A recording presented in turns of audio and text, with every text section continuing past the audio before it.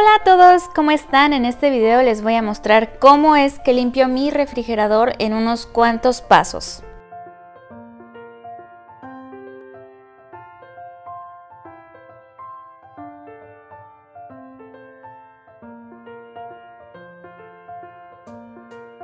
Así es como se encuentra mi refrigerador en este momento. Yo acabo de regresar de un viaje y antes de salir descongelé una carne y se me habían tirado los juguitos. Hice un movedero de cosas y la verdad se puso súper cochino. Entonces es momento de darle una limpieza profunda. El primer paso es desconectar nuestro refrigerador. Yo sé que este paso puede sonar bastante obvio, pero pues bueno, para otras personas no lo es. Puede que nos tardemos horas limpiando el refri. El segundo paso es vaciar por completo el refrigerador. Tenemos que sacar todos los alimentos y de paso vamos a revisar y desechar todos los alimentos que se encuentran en mal estado, con mal olor, sabor o que ya se ven medio raros o que peor aún que tengan presencia de algún hongo, de algún moho. Entonces es momento de checar todo lo que tenemos. Aquí por ejemplo pues ahí se ven las manchas que ya están ahí en mi refri todas pegadas. Entonces tenemos que lavarlo muy bien.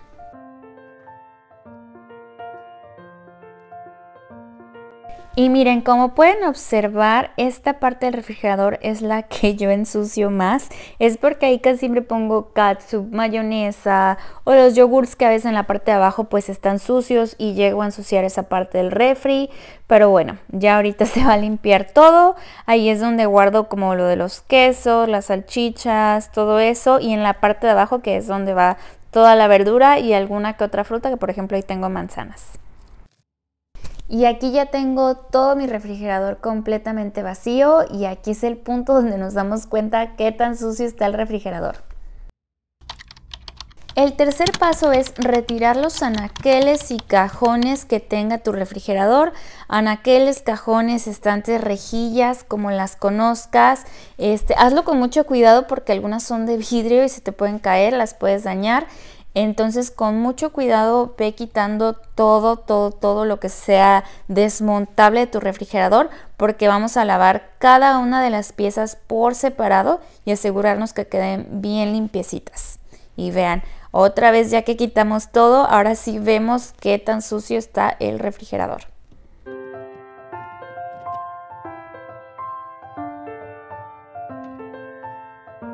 Les voy a mostrar un poquito lo que tenía en el refrigerador, que pues la verdad les digo que es momento de desechar. Por ejemplo, estos nochis de papa, pues ya los voy a tirar a la basura, ya nunca me los comí, ya están abiertos. Esta es una mermelada casera que yo hice, pero pues ya queda muy poquita, no la vamos a terminar, así que mejor la tiro. También tengo paquetes que la verdad todavía no he abierto, muchas cosas que están completamente cerradas, pues esas están en perfecto estado. Y bueno, por aquí tengo una salsa de pizza que la verdad todavía está muy buena, me aguanta como unos 15 días en el refri. Este, por ejemplo, es un caldo de pollo de hace como 2, 3 días que también ya va a la basura. Esta katsup que ya tiene muy poquito, entonces también va a la basura. Aquí tengo fruta en estos moldecitos, que esta sí es nueva, entonces esa no va para la basura, probablemente me la termine hoy, pero bueno, les muestro lo que hay. Y esta es la fruta y verdura que tenía en mi refrigerador. La verdad es súper raro que se me eche algo a perder. Sinceramente trato de comerme todo antes de que se eche a perder. Solo tengo este chayote, que bueno, es algo muy raro y es porque solo le gusta a mi esposo. El siguiente paso es limpiar cada uno de los anaqueles, cajones, rejillas que tenga tu refrigerador. Yo estoy utilizando jabón de trastes normal para hacer la limpieza. Yo quiero que es una limpieza como profunda, por eso no estoy utilizando de que agua con vinagre o bicarbonato o algo así. Yo sí estoy utilizando jabón porque les digo que quiero que esté súper limpio y bueno me voy a asegurar de enjuagar súper súper bien para que no quede ningún resto de jabón. Y otro tip no utilices agua caliente porque puedes dañar el, el, plástico si son de plástico o el vidrio se te puede tronar si es que estaba a una temperatura muy baja. Con el choque térmico puedes romper el vidrio de los cajones. Entonces no lo hagas Aquí estoy eh, tallando bien esta parte del cajón que es con la que más tenemos contacto de que, cuando lo abrimos, ahí ponemos nuestros dedos. Entonces ahí específicamente es donde estoy tallando un poco más fuerte o bueno, estoy haciendo hincapié en que quede súper limpio. Aquí en esta parte que es donde está pues eh, guardada la verdura y la fruta, eso primero pues lo junto en una esquinita y lo tiro en el bote de basura. Y ahora sí, ya que está pues vacío, ya hago la limpieza con agua y con jabón.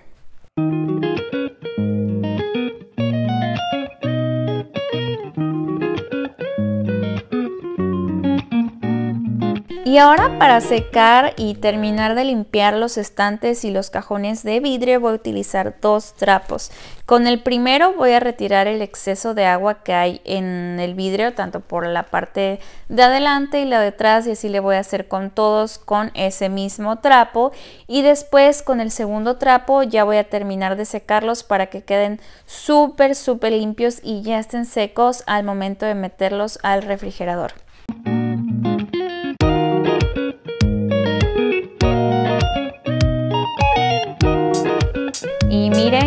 Diferencia de vidrio, ya todo limpio, todo seco, parece que no hay nada y pues bueno, así te tienen que quedar. Y bueno, el siguiente paso será limpiar el interior del refrigerador. Para esto yo estoy utilizando una mezcla de dos cucharadas de bicarbonato disueltas en un litro de agua. Yo más o menos lo dejo reposar aproximadamente un minuto para que sea mucho más fácil para mí estar quitando todas las manchas. Si tu mancha está súper difícil de quitar, pues te recomiendo que utilices jabón de trastes, pero pues sí asegúrate de quitarlo muy bien, de darle unas dos, tres pasadas con un trapo limpio para que no queden restos de jabón dentro del refrigerador. También hay que hacer hincapié en esos rinconcitos que probablemente no podemos limpiar frecuentemente en una limpieza regular. Entonces hay que hacer mucho hincapié en todos esos rinconcitos, en todas esas esquinas para que quede súper, súper limpiecito. También como paso adicional, después de la limpieza, puedes usar una solución de una cucharadita, que serían más o menos 5 mililitros de cloro disuelta en un litro de agua para que lo rocíes y puedas desinfectar tu refrigerador por dentro.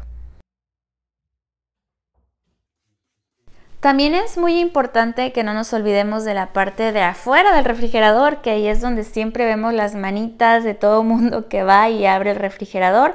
Entonces démosle la pasadita por ahí con el trapo súper limpio para que no vaya a quedar ningún resto de comida ahí en la jaladera. Y ya por último te sugiero colocar bicarbonato dentro del refrigerador y limpiar los envases súper bien antes de regresarlos al refrigerador porque si llegan a estar manchados por la parte de abajo pues bueno de nada sirvió todo lo que hicimos porque luego luego ya se volvió a ensuciar. Y bueno ya este es el resultado final así quedó mi refrigerador yo esta limpieza profunda la hago más o menos una vez al mes aproximadamente, un poquito antes, un poquito después. Y bueno, yo espero que este video te haya servido mucho si eres una ama de casa nueva o si te acabas de independizar o si no tenías ni idea de cómo limpiar el refri y le quieres ayudar a tu mamá, pues espero que te haya servido. Muchas gracias por ver el video y te invito a que te suscribas al canal y nos vemos en el próximo video.